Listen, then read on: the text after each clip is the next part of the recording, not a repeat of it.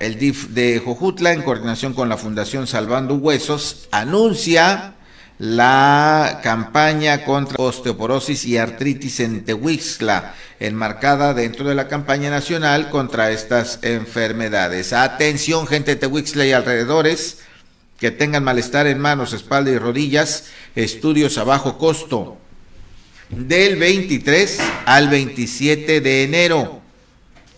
Es decir, esta semana en el Zócalo de Tehuixtla de 9 de la mañana a 5 de la tarde. A ver, ve ahí el costo del, de la consulta. 50. pesos, ¿verdad? Costo por estudio, 50 pesos. Gran oportunidad para atenderse de estos problemas.